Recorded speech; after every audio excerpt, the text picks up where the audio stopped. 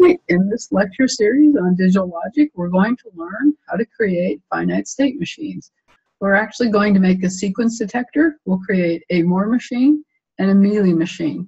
All right, let's start with our example problem. We're going to start by learning how to make a state diagram for a Moore state machine, and then we'll actually learn how to make the state tables and the state transitions tables. Here's our problem statement now to, for our sequence detection. We want to create a Moore finite state machine that detects the input sequence 110. Overlapping sequences are allowed. So we'll define these terms throughout the lecture. What a Moore machine is versus a Mealy, what an overlapping sequence is. What we want to do is work, our machine needs to detect when the number one comes in, then the next number one, and then the number zero. So the numbers will come in this order from left to right for our machine to recognize this sequence. Right. There, when you use three bits, we realize there can be eight unique sequences, right? We can have 000, 001, 010, and others, but we're only interested in 110.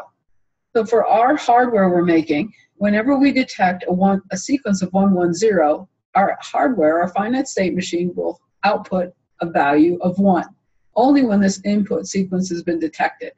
Right? Otherwise, we'll always have an output of zero for any other sequence of numbers. Right? So we'll see that as we develop this. When we have read this full sequence, recognize this 110, our output will be a 1. Otherwise, our output will always be a 0. What we're going to do now is to define some different states. We'll have a finite number of states.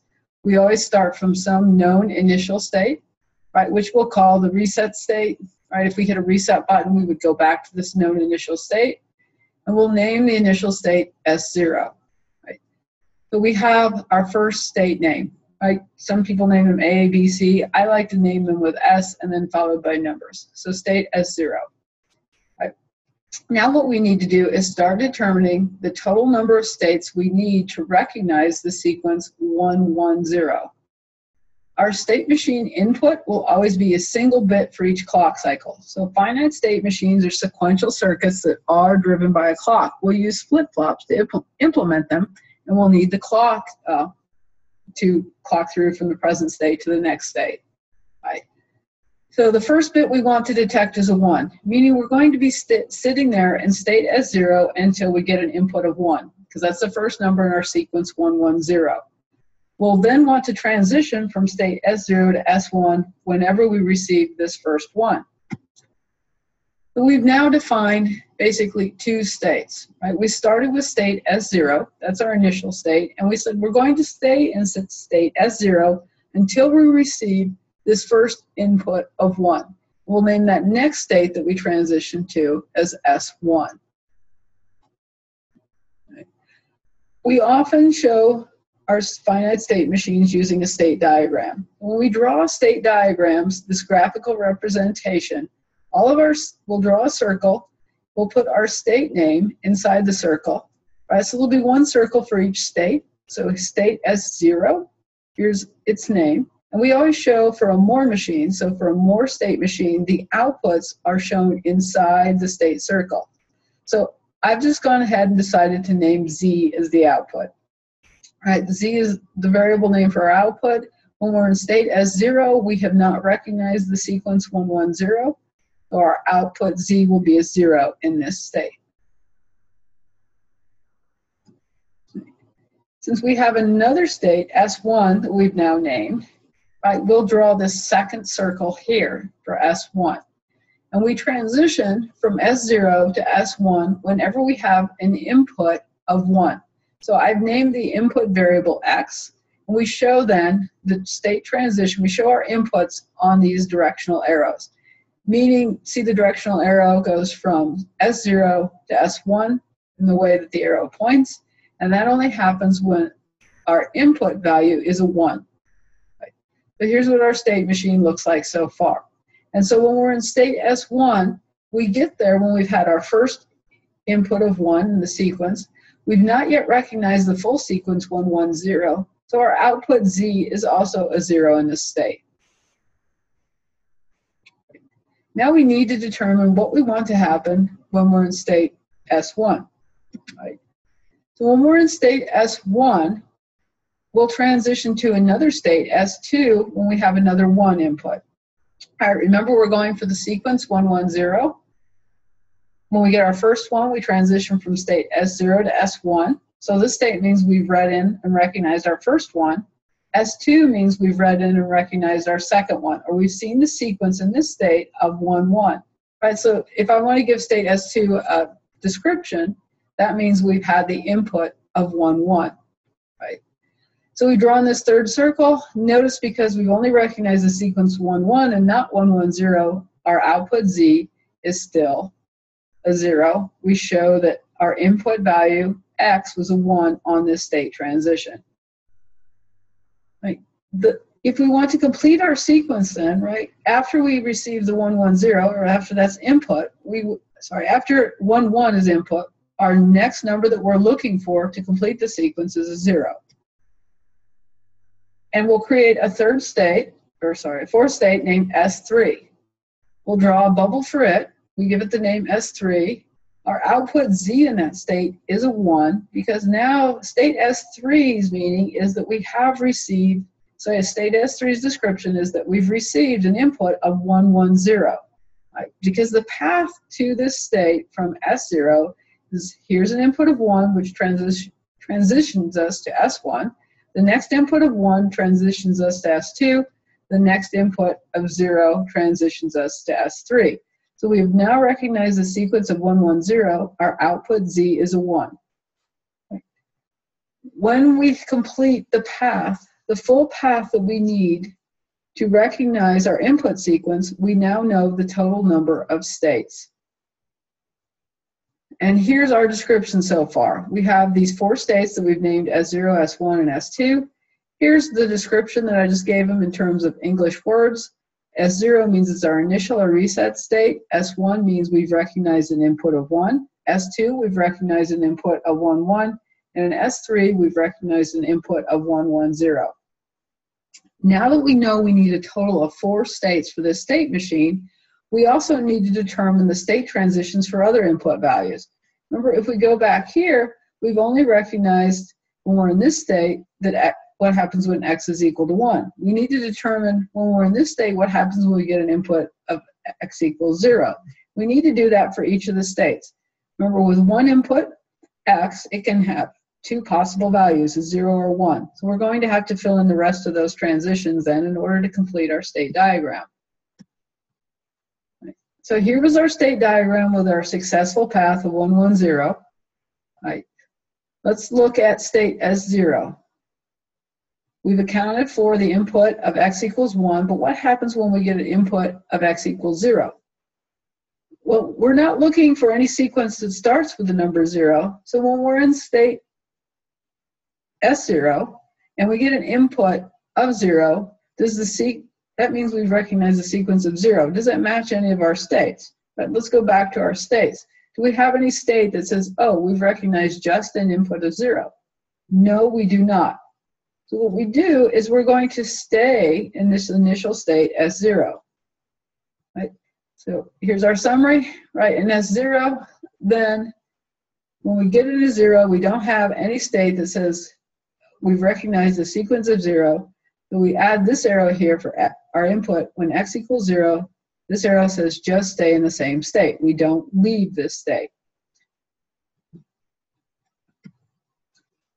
Now what we want to do is we want to move over to S1 because we've completed S0. We've recognized what happens when our input of X can be a 1 and what, what happens when our input of X can be a 0. Right, now we'll move to state S1. We've recognized here what happens when X is equal to 1. We want to recognize what happens when X is equal to 0.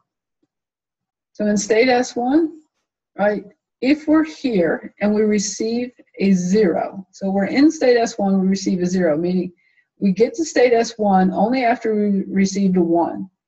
When we receive a zero, that means our input sequence so far has been one zero. And do, are we looking for a one zero? No, we don't have any state that recognizes a one zero.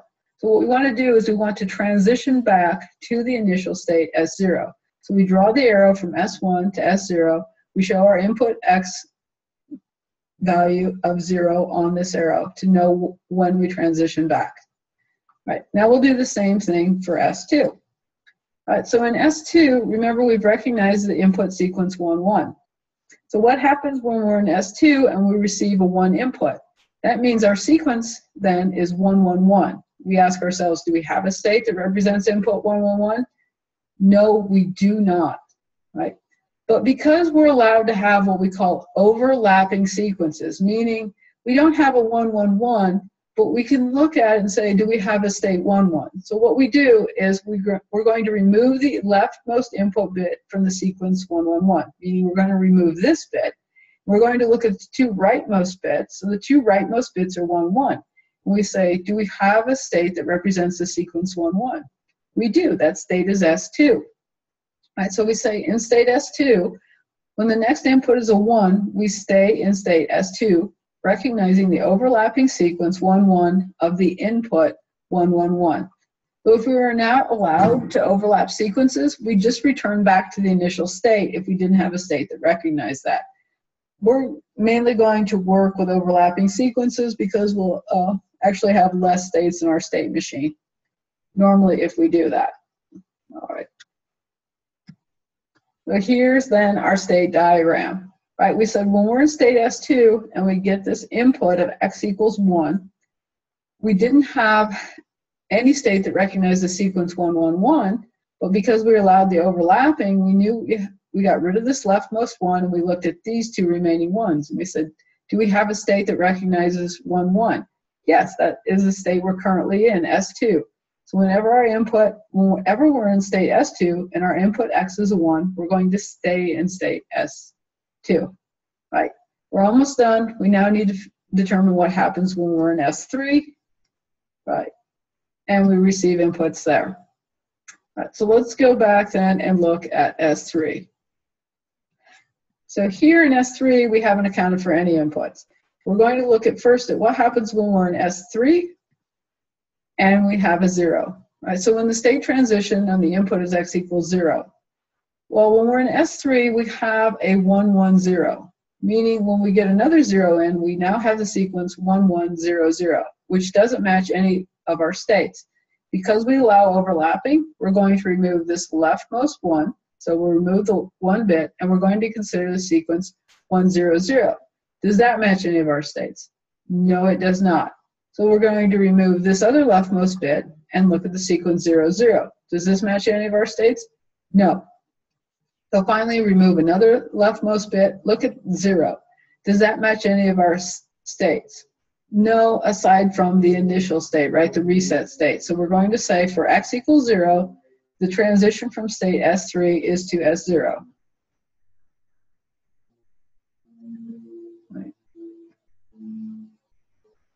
And then we also want to look at what happens then when we're in state S3. Right, this transition should be what happens when it Oh, sorry. Misread my own slide. Thought I had a typo. Let me bring that back up.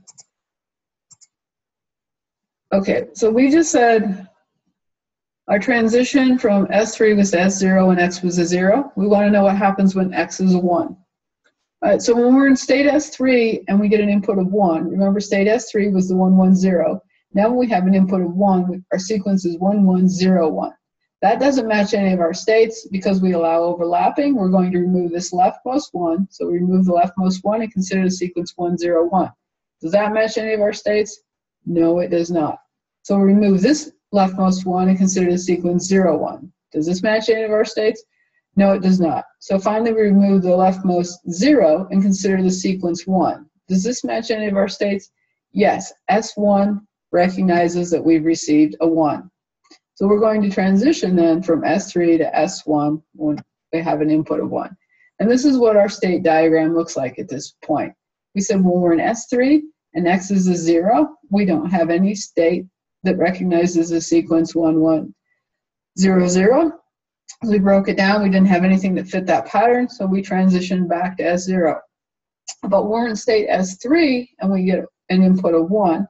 right? That was our 1101. Well, we didn't have a 1101. We kept breaking everything down until we just got to that rightmost one. And we said state S1 then recognizes the sequence of got one. So now this is our completed state diagram for our sequence detector 110. And we've accounted for every single input value, every single transition from one state to another.